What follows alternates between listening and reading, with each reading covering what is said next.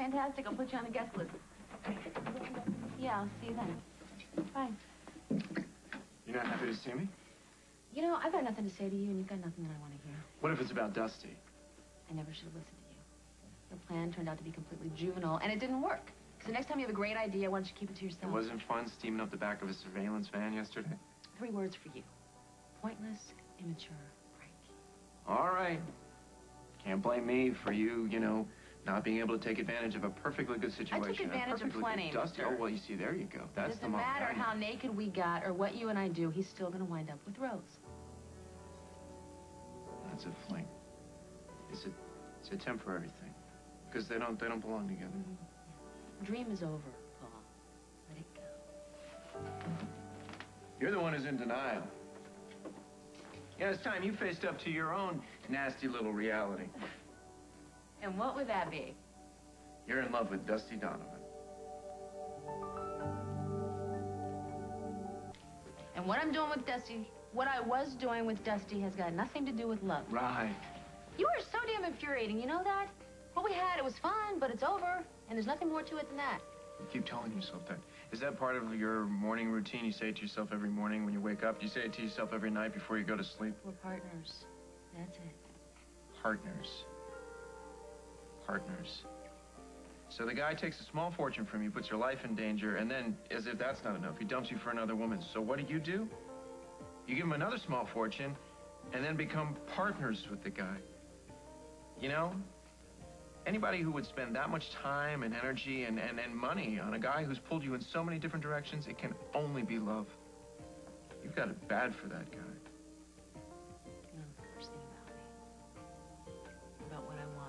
Or about love, for that matter. So why don't you just shut up, stay out of it, and leave me alone? I'm only trying to help you. Help me what? Face the truth. You are way more into Dusty than you're willing to admit, even to yourself. Why are you doing this? Because I know firsthand what a waste of time it is to hide your feelings. You need to take control of this thing before it controls everything about you. Go to Dusty. Show him how you feel. So Rose is free to run back into your ever-loving arms? I'm done with charity work. So what if going after Dusty is, is good for me? That's just like a, an interesting bonus. You need to focus on why going after Dusty is good for you. Give me one good reason. Because it'll make you happy. And Molly, when was the last time you were really, truly happy?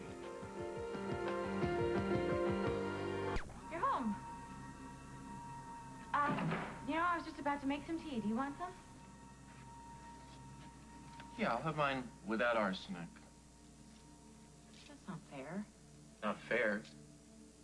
You give me the silent treatment for weeks, and now all of a sudden you're gonna offer me a cup of tea?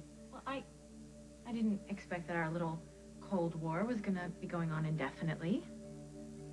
Look, Jen, when I paid Andre to skip town, no, I you know talked what you did was wrong. Oh. Fine, but, but Andre was a first-class dog, and I'm lucky that you were looking out for me.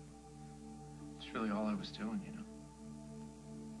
So, maybe we can find a way to put all this behind us if you promise to never, and I repeat, never interfere in my life in that way again. This little about face wouldn't have anything to do with your little visit with Dusty, would it? Dusty. Yeah. Dusty.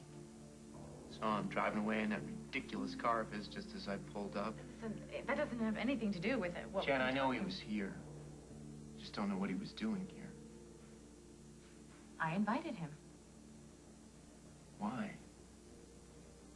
so that I could tell him face to face that he's out of my life for good. Thinking, going after Dusty like that.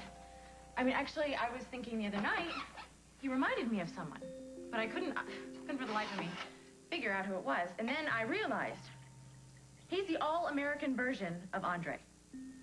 Handsome, charming, attentive, and impossible to trust. So, after I realized that, it almost made it easy to kiss the whole thing goodbye. I'm impressed. Yeah. So, anyway, I just I just had to figure it out for myself, you know. And I realized that being friends with Dusty would just mean that things could end badly, and I really don't want that again. I really don't want things to be strange in our family. I want I want a family again, Paul. Do you think maybe we could do that? Maybe we could start over? Paul? What's wrong? Don't, don't you believe me? No, not a word.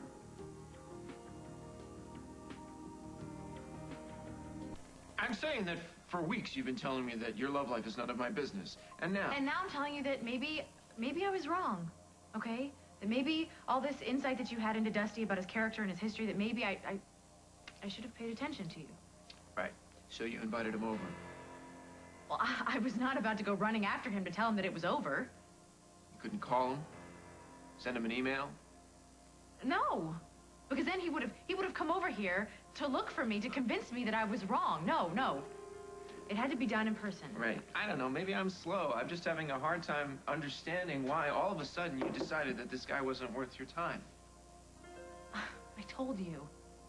I started to see how much he reminded me of Andre, but it was mostly because of you, Paul. You've made it painfully clear that you don't want Dusty in our lives, and I am sick of arguing about it. I just... I want us to be happy. Happy? Yeah, no, I like happy. I'm, I'm a big fan of the happy. And I'll be happy as soon as you stop lying to me. To you. Look, I know I put a bug in Dusty's club, and by all rights, you should be furious with me because because you told me to stay away from the guy. But for you to stand there and pretend that what you want is is for you and me to be happy. I do. No, it, it's not what you want. Jennifer, tell me, why was Dusty here? Because. Because you broke the law, you broke your promises, and Mom felt the need to come over here and tell me all about it, and, and, and I'm just sick of it. So I had two choices. I could leave and run after Dusty, or I could stay here and try to fix this stupid family, which meant telling Dusty to get lost. Nothing's gonna fix this stupid family, Jen. You know that. Well, I thought maybe that you and I could have a chance at, being friends here for a minute. I'd like that. But friends, they tell each other the truth, Jennifer, and brother and sister, you know, there's not supposed to be anything more. I know, and I, I want that. So do I. Paul, I I... have this confession that... What? What were you gonna say? No, no, you go ahead. Well, All right. I, uh, I have a confession to make. I didn't, um... I didn't bug Dusty's club to spy on you, even though I know that's what you think. I did it because... I've been lying to myself about something, something kind of crucial. Jen, I'm still hopelessly in love with Rose.